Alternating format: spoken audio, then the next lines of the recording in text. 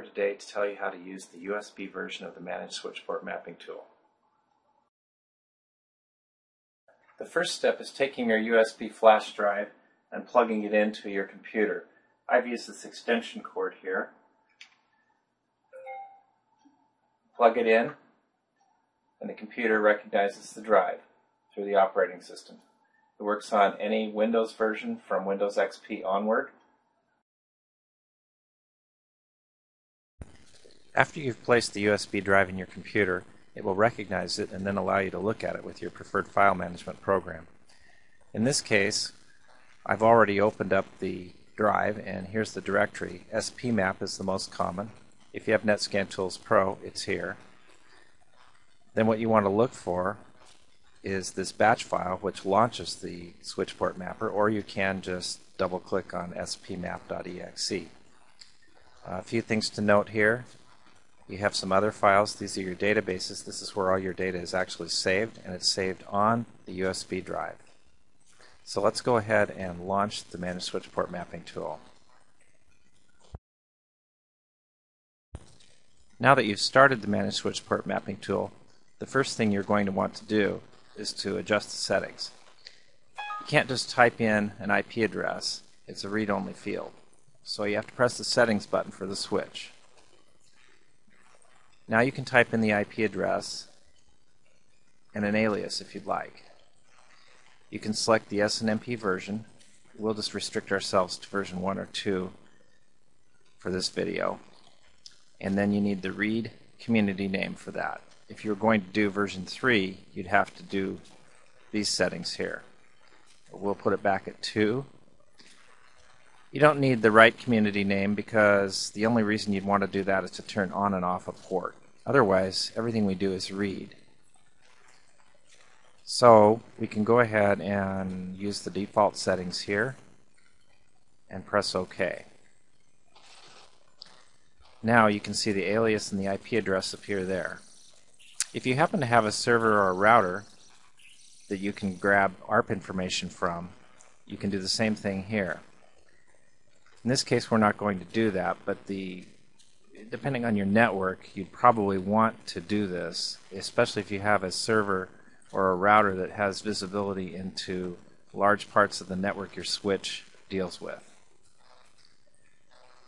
So now what we're going to do is check, make sure all these four boxes are checked we will look at the ping sweep editor and make sure that you are pinging a, at least a section of your subnet. In this case, we have a small subnet here, just a uh, old style class C, which has 254 IPs, and so we're going to it's going to ping every one of those IPs.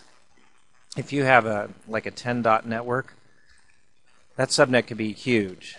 So our default settings might be very large. And whenever you're moving the USB, you want to be sure to check the ping sweep list editor because the IP ranges that you find in your current network may be completely different than the last network. So be sure to check the IP range. And if you're on a network that's fairly large, you're going to want to check those ranges to make sure that they are only pinging what's actually valid in that range. You don't want to be pinging a subnet forever of a 10 dot.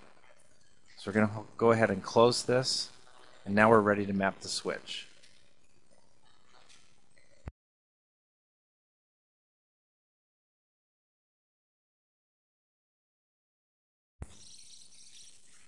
What we're mapping right now is a small Cisco Small Business System switch. It's an 8-port switch. And as you can see, it pulls up various things really quickly. You have the interface descriptions, the names. You have the alias, which is something a network administrator might type in explaining what port is connected to. You have the interface type, the VLAN, status, the speed of the port, the duplex status. And then you have the MAC address of each device, the IP address, and the host name.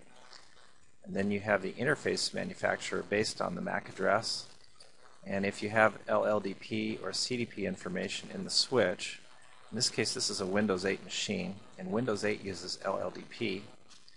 So you see the IP address, the MAC address of the Windows 8 machine. And then you see the last change time, how long it's been since something's changed on that port. So this particular machine has been up and operational for 2 hours and 53 minutes. Then you see the interface index. Those are the basic columns. You can add other columns by going to Settings and Tools and then selecting Column Order and Visibility Editor. Right here you have the active column list, but you can add all these other columns over here. Not all these columns will work. For instance, if you're not using a Cisco switch, these Cisco MIB information columns will not show up. But RMON will show up, you know, from many different switches.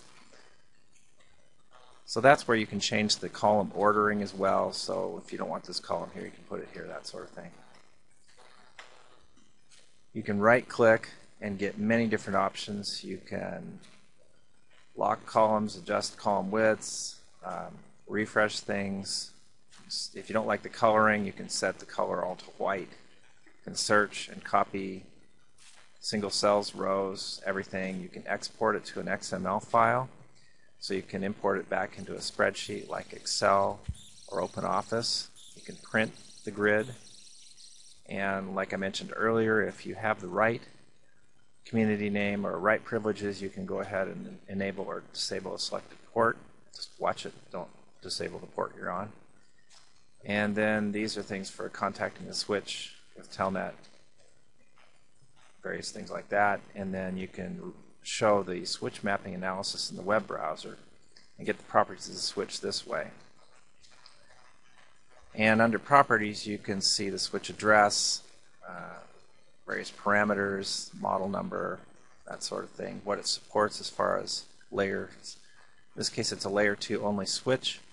A core switch like a Cisco 6509 will show layer 3 as well.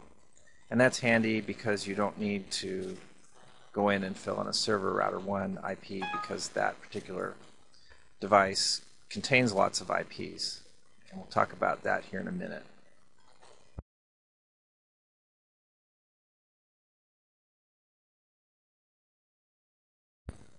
When a switch mapping is complete, your web browser presents a report.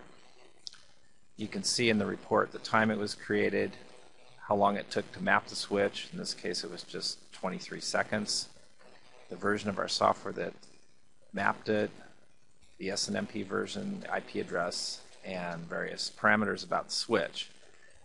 You have a switch interface analysis, and I'll go over this a little bit in detail. You have the number of interfaces, the number of active interfaces, the VLAN count, the number of Ethernet interfaces, and the number of unused. Now, by unused, we mean the port had no MAC address on it. Now this could mean either there's nothing plugged into it or the attached device is off. Then you have the other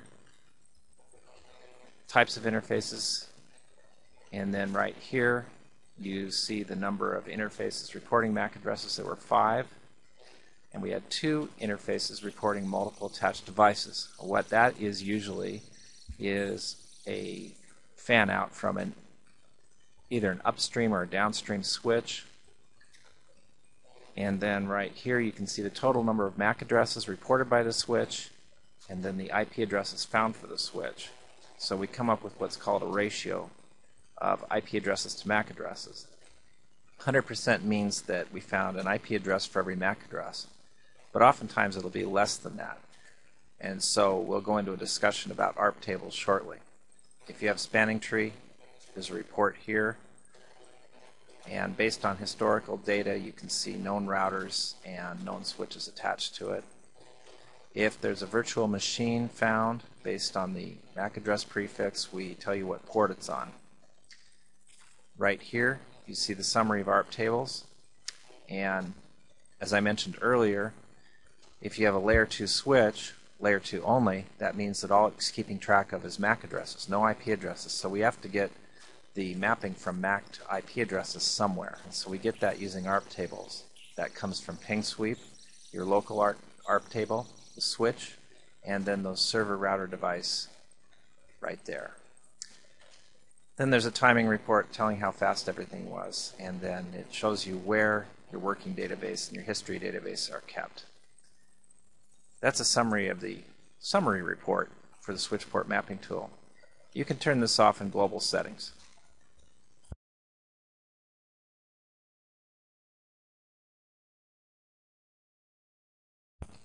Let's talk about global settings. The settings you saw here before were device specific, which means they have only to do with the switch or the server router.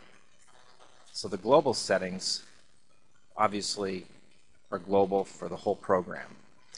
Right here you see various things like automatically resize the column widths, do the post mapping analysis in the web browser that we just analyzed and talked about enable a check for a new version.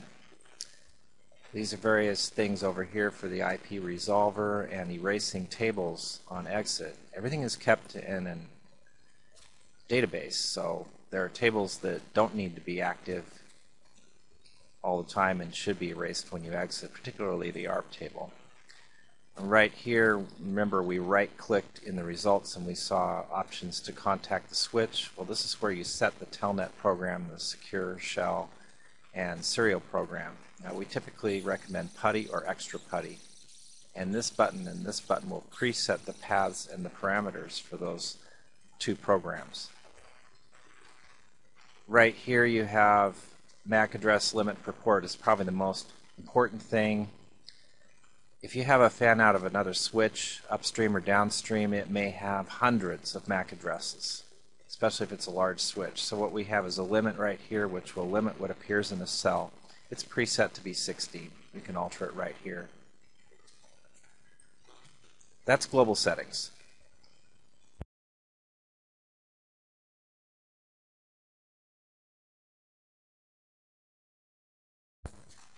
One thing we have in the program that allows you to quickly reselect the settings that you had for a switch or a device are these select config or select existing buttons.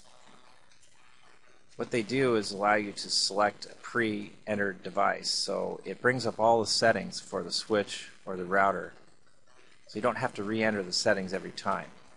So you just hit select config or select existing to get this list and you can select from them and reuse them quickly.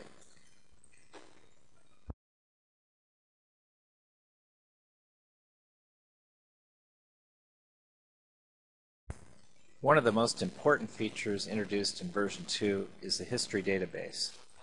What happens is every time you map a switch, all this information plus the properties of the switch are saved in a database. You can review the history right here. You have access to any manual mappings, and what we've been showing you is a manual mapping or switch list mappings. We didn't cover switch lists in this particular video, but switch lists are a way to map a set of switches one after another and save their information to the history database for later review. So what happens is if you want to look at a particular mapping, I'm going to pull up one from several days ago. You just go over here and double click on it and it appears. Then you can right click and bring it back up the properties. You can also show the you can show the switch mapping analysis in your web browser. And again in review history, you can do searching for a particular switch. Let's look for a MAC address that contains, let's try a 00. zero. So what happens is you find a list right here of the interface name, the switch IP address, the time that it started, and the string that we found. In this case, it has a 00, zero in it. We could have looked for an F1 and you can see the interface that F1 appeared on and the mappings that contain that and the switch IP address. So you can search for a particular MAC address or IP address across all your results in the history database. Then, of course, to view that, you just double click right here and you can review the results as they appeared back when the switch was mapped. Very handy for producing a report at a later time. And like I said, you can show the analysis in the web browser and get your properties here.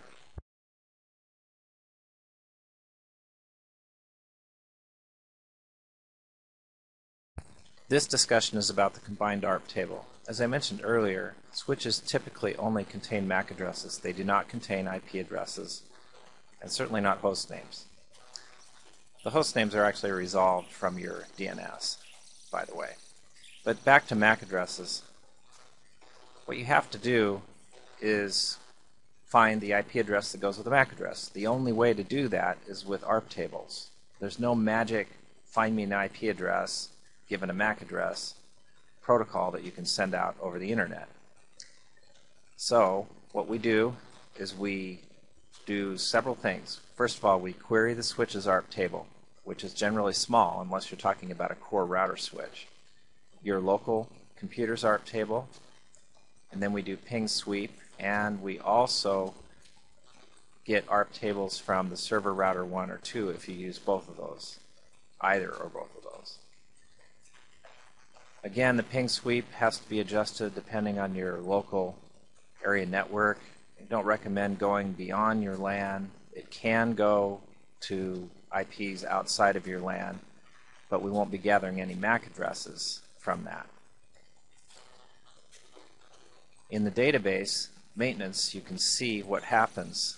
We build a combined ARP table, and the source of those particular IP and MAC addresses are shown here timestamp, what type of entry they are.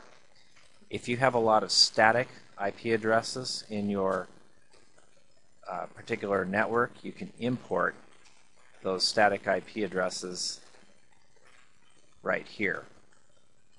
You can also add one manually right here if you have just one or two that you want to put in. But importing them is good for a large list, like if you have printers, things that don't change. You know the MAC address, you know the IP address, they're not going to be changing. So this is a good thing for those two entries. And you can see the combined ARP table. So what we do is we get the MAC address and we search for that MAC address in this table and we see the IP address. Back in global settings, we have an erase checkbox. And we erase that combined ARP table on exit. And if you want to erase the static imports that you brought in, you can do it right here. But normally we just need to erase that one. It does not erase the static entries.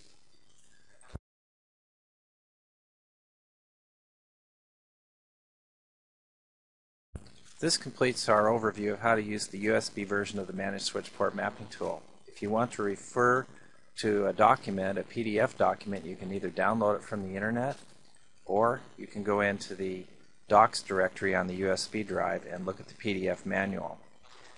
What you need to do after you're done with the USB version is properly exit it and then go down to your taskbar and eject the USB drive properly and make sure that it's fully ejected. Failure to do so could cause loss of data and possible damage to the USB drive.